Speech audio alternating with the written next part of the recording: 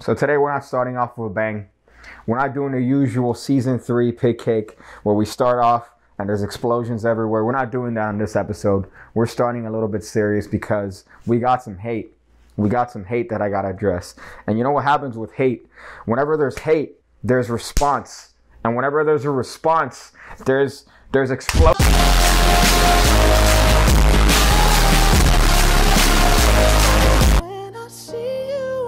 Season three, episode three, starting off with a bang. You might want to ride the train, ride the pig cake train. Get on the like, subscribe, notification, whatever, whatever the fuck these other people do. But listen, you want to get on that because you don't want to miss this very important information here. So recently, Brian Connor, a member of the pig cake community, a longtime fan and a longtime lover of all things pig cake, he sent me a picture that he took of Facebook that somebody graciously put one of my videos up which happened to be the last episode, and uh, the responses that came from this. And oh boy, oh boy, were the responses hot. Now, the title of this video, if you haven't noticed, it's why Vernon was an overrated hack. Now, that's what I'm calling the trick that I'm going to show you guys later today. That's what I'm going to call the little bit of a tutorial. But if you noticed, I did a little bit of clickbait.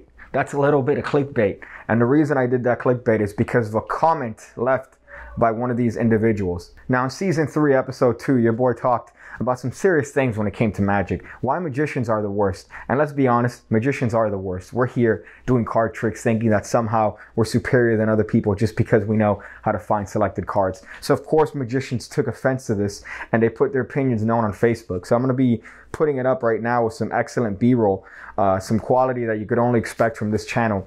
But uh, the first person here, which I'm not going to name, but his name rhymes with Dick he said, absolute idiot, knows nothing about magic or magicians. The thing, he calls me a thing, by the way. I think that's kind of racist. I'm an individual, I'm a person, I'm a cisgendered white male. For some reason on Instagram, people keep leaving comments saying, Oh, I thought you were black. I thought you were a black person because they saw this and they realized that I'm white or uh, somewhat white. So uh, keep thinking I'm black. That's kind of cool. I like that aesthetic. This thing tries to promote their magic school in the middle of the video. Skip past that part. You're telling me this guy skipped past the most important part of every video, which is where I plug the Pig Cake Card Academy. That's right, two videos every single week. As a matter of fact, today I dropped two videos. And today I'm dropping two videos because this video comes out at 10 those videos come out at 11, scheduled because that's what your boy does. Your boy's on top of this. Two videos every single week, over 200 videos already going over card and coin stuff, all the way from a beginner to expert level, next level virginity magic. So join $5 a month. It's super cheap. Rave reviews all around. People are saying, wow, hey, I don't even do magic, but I joined your academy and I'm, I'm killing them. I'm killing these guys. So join today, $5 a month. Support me and support yourself. That's the most important part. He skipped that part. That's what uh, Mr. Dick was saying. This kid idiot is the worst. It's some young guy hiding behind a pair of sunglasses and a ski mask who, who knows nothing about the world, doesn't understand being an entertainer. Oh, so I'm a kid, eh? Ah, man, that's cool. That's cool. I like that. I like that. This guy thinks that I'm some sort of kid. I don't mind that. I'll keep that one. The, the younger people think I am, the better. Uh, I tend to feel a little bit older in my skin, and anytime one of these uh, older chaps says, Hey, you're just a young man, I'm like, Oh, thank you, man. I appreciate it. He only makes one good point in half of the video I could stand to watch. When a magician approaches a crowd of people they don't know, they should say no. I don't think I even made that point, honestly. I don't even think I made that point. But uh, he didn't even watch the entire video. So this guy's judging me, saying that I'm uh, the absolute worst just because of my appearance. Just because of my, my what? My black skin? If you have to hide behind a mask, then your words are meaningless and you are a coward. You lack the courage of your convictions. If this is a marketing technique telling want to be magicians and others how bad they are and why they need whatever he's offering, fail. That idea doesn't even make it out of marketing 101. Oh man, I gotta tell you, this is precisely why magicians are the worst. This self indignant, righteous individual who thinks that he's correct just because he happens to have a difference in opinion. You know what? That's your opinion, buddy. You're allowed to have it. All right. I shared my opinion on a platform. You're sharing your opinion.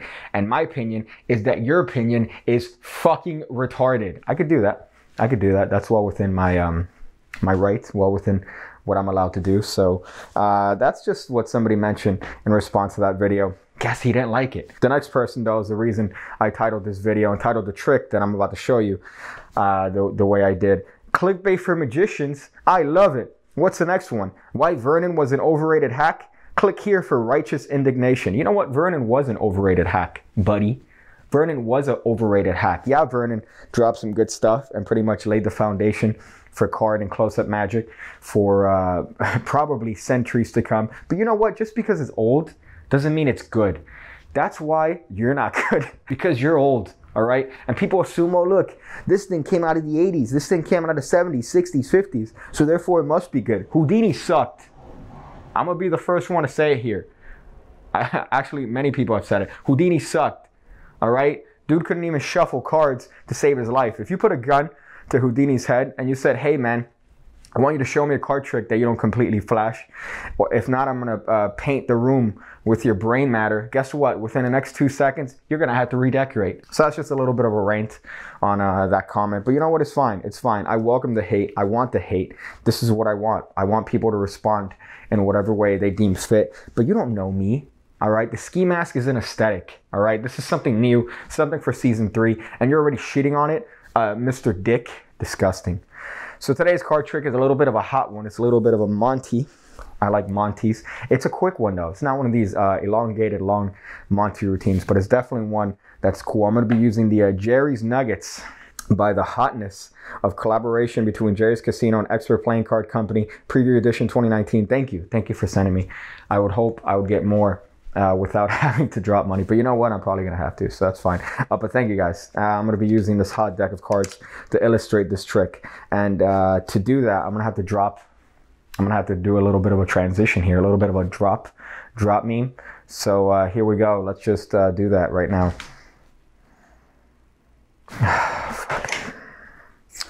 One day, man. One day. I can't wait to go to school tomorrow. That's what I can't wait to do because they're to find out. You know, I really don't like this camera angle because you could see how short I am, even though I've mentioned uh, that I'm 5'2 several times. And some people are like, what, huh? How are you 5'2, uh, pig cake? That's crazy, dude. I thought you were black. Here's a little bit of a life hack, by the way, if you don't have a deck set up. This is a, a, a move I got from Chris Mayhew. It's a super easy move to get the deck set up uh, whenever you don't necessarily have the deck set up. So let's let, let me show you how to do that. It's right here. Hmm. Okay. There you go. Now I'm good. Okay. So for this trick, we're only going to need a couple cards. We're not going to need uh, all the cards in the deck. As a matter of fact, this is a, a reason why you shouldn't play any sort of Monty with anybody in the street. You know the Monty, right? Uh, some guy has a couple cards, and what they do is that they try to shill you. They try to get you to lose, right? Usually they have like two jokers and an ace, and they say, "Hey, follow the ace, follow the ace," but it doesn't matter. It doesn't matter if you pick top, middle, bottom. They're going to show you the wrong card regardless. They could show you on the bottom that you have a joker, so you would have lost, right? It Doesn't matter if you have that bottom card as a joker because the top card is also a joker. They could show you that fairly easily. And uh, if they wanted to, if you happen to say, oh, it's in the middle, the ace is in the middle, well, I guess that card is also a joker as well. But sometimes, you know, their buddies come in sometimes their buddies come in and uh, they want to make them win. So then other people looking could be like, oh, maybe there's a chance. Maybe I have a chance. You don't have a chance. You don't have a chance. Uh, but that looks like this, uh, where all the cards are actually uh, money cards. So all the cards are aces. Um, oh boy, what a fun one. What a fun one. You like that? You like that? I'm going to show you how to do that because this is a, a super fun trick to do. And um, well, you're going to learn it. You're going to learn it. All you need are four cards. You need four cards here. You need four cards. And we're going to make use of the uh, Henry Christ Annemann alignment move. This move has been credited to both Theodore Annemann and Henry Christ, of which I used to call Henry Christ for the first, uh, I would say, six years of my life, thinking that somehow maybe he was related to the one from um, Nazareth. But no, he's his own man. He's his own individual. Uh, so this is going to make use of that move to show the jokers three times and hide one of the aces. So it's a great, great little bit of subtlety there. So the setup. You have four cards.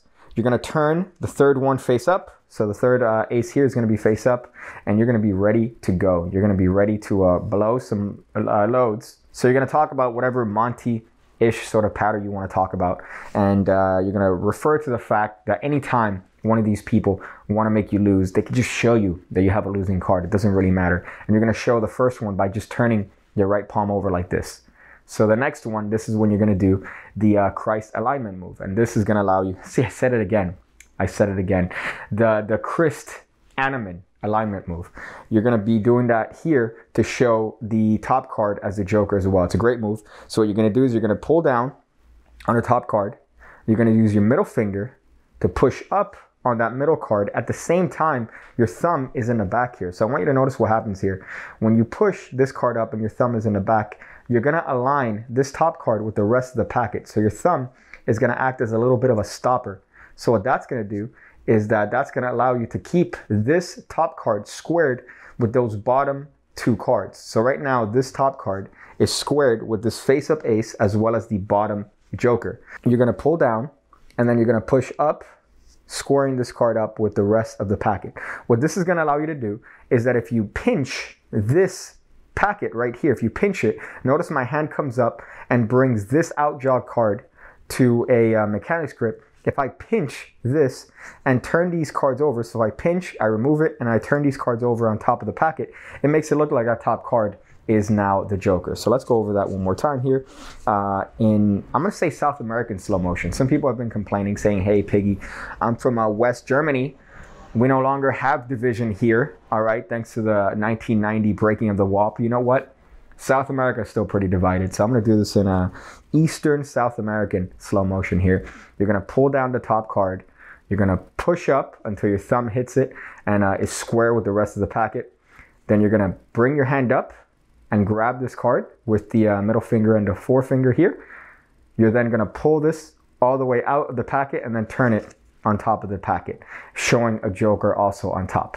Now the cool thing is because the setup, you could push this card off and show it very cleanly.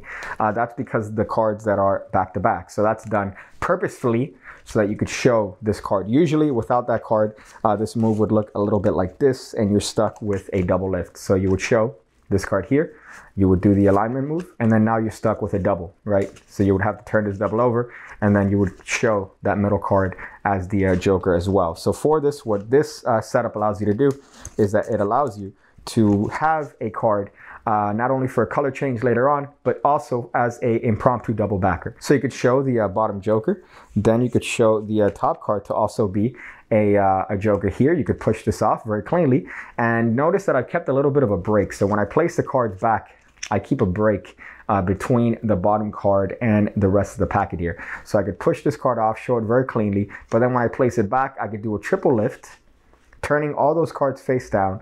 And now I'm going to bring them to my right hand for the last move here. So the last move is going to be very, very simple. I'm just going to use the friction of my left hand to pull this card to the left. I'm going to pull the next card to the left as well. And then I'm going to turn that middle card over. So remember, this is a double. Not only is it a double, but it's also a back-to-back double. So you might want to keep extra care to make sure that that card's as square as possible. But you could show now that that joker is in three places, uh, which shouldn't be magical because really you haven't shown the packet as anything else. But here's the magical part when you turn those three jokers into the aces. So the way we're going to do that is by use of the uh, paintbrush change. So very, very easy. We're just going to place this double down. We're going to push it and score it up with the rest of the cards, and then we're going to pull back. That's it. That's essentially the change here. Super, super simple. You're not doing anything too complicated. You're not doing one of these, uh, you know, shin lim magic passes that uh, require pretty much uh, a full-time tuition to Hogwarts. Anyway, so you're going to push this card here. You're going to pull it back, and now that's the first transformation here. Then you're going to turn this card face up. At the same time, you're going to do a pinky pull down, or if you want to buckle, whichever one gets your break there, and you're going to pinch this double with the fingers of the right hand. Now pinching that double, you're going to turn over this bottom card and show the fact that you've transformed those three jokers into three aces very, very cleanly with no sign of any extra jokers here whatsoever. Now, if you want, you could square this packet up and you're going to do a variation of the Ascanio spread here, where you just use friction to pull this card, and you use your thumb to uh, move the top card, so that now you're left with a double here. So this card is actually a double. You're doing a variation, a three card variation of Arturo de Ascanio's uh, Ascanio spread, a wonderful move there. And uh, now you could show the fact that you just have three aces. Now you don't want to overshow it. You don't want to be one of these um, overproving magicians that right rant on Facebook, but it's a nice little bit of a routine here and something that gets you in uh, anytime you need to just introduce the uh, Monty premise. I like it because, again, it's very quick. You're showing uh, the fact that you have three Jokers here very, very cleanly. And then ultimately, you're able to just show the fact that uh, there's a quick transformation here. So it's a very nice sort of trick and uh, it's done before it starts pretty much. So it makes use of that wonderful Annemann Christ Christ alignment move.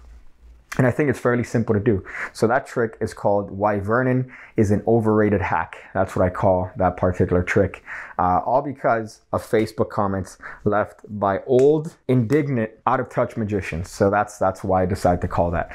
Uh, but I hope you guys enjoyed that. Thank you guys. Thank you guys for watching this. Uh, I, I don't like I don't like ending this with this weird shot of my lower body uh, distorted by the wide angle lens. I don't like that. But you know what? It's an aesthetic that season three started. Season three is going to keep it this way. All right. Season three is going to keep it this way. We're not going anywhere. We're out here. So thank you guys. Uh, make sure to do all the things that people do. Ham Radio, it's starting. I'm going to have a separate channel dedicated to ham radio. So you might want to subscribe to that. Ham Radio, of course, is my podcast with um, DJ Danny Dizzle. And uh, we're going to be talking all sorts of stuff about cards, about magic, about uh, life in general, really. So do that. I'm gonna go figure out different ways to use a plush Snorlax to hopefully get me some women. See you again when I see you again. When I see you again. When I see you again. When I see you again. When I see you again. When I see you again.